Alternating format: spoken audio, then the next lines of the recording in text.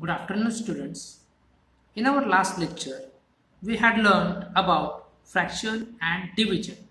How fraction and divisions are related with each other. Okay.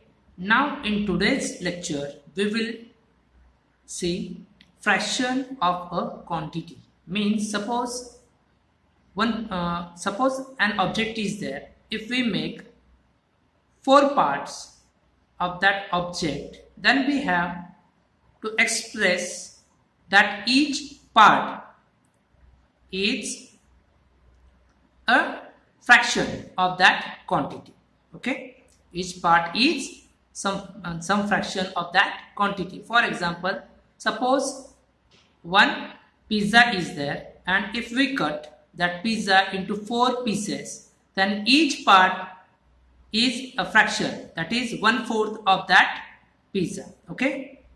Now today we will see some example based on fraction of quantity. See here. Here we have there are 120 parrots in the bird park. Total parrots are 120 if one tenth if 1 upon 10 of the parrots are red okay? Tenth part of the parrots are red. How many red parrots are there? See here. First the denominator is 10 so we have to divide that 120 into 10 parts. Okay? Now see here. 1 2 3 4 5 6 7 8 9 and 10 okay? Now 1 tenth means 1 upon 10 2 upon 10 3 upon 10 like that it will be 10 upon 10 that is total 1 okay now this part is red. Why? This, uh, this part is red parrot's part. Okay. Now, how can we write 10 parts is how much? 120. Okay. Therefore, one part will be one part will be 120 divided by 10. So, it will be how much? 120 divided by 12, uh, 10, it will be 12. Okay.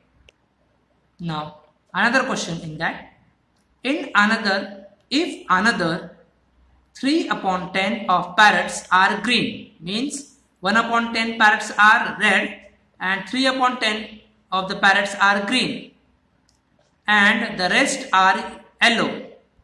How many yellow parrots are there? Okay. Now see here.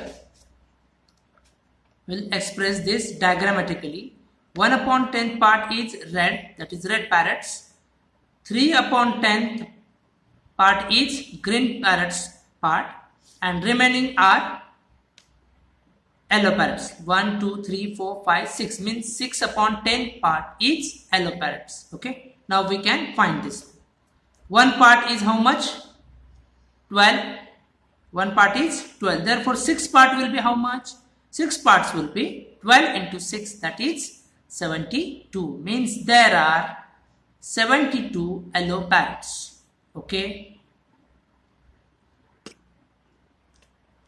Next now see here.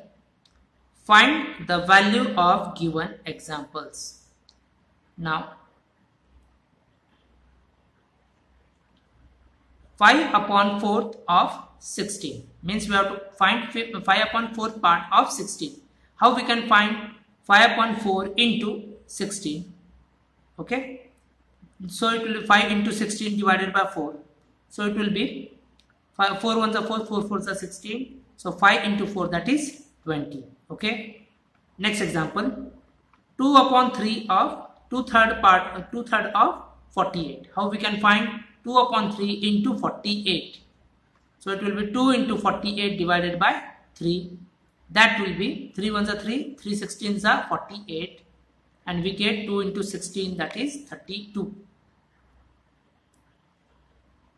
next one 2 upon 7 of 63 2 7 part of 63 how we can write 2 upon 7 into 63 so it will be 2 into 63 divided by 7 that is 7 ones are 7 7 9 are 63 so it will be 2 into 9 okay? Here we can cut this one. 7 ones are 7 7 9s are 63 so 2 into 9 that will be 18 okay? Same procedure we have to do here only.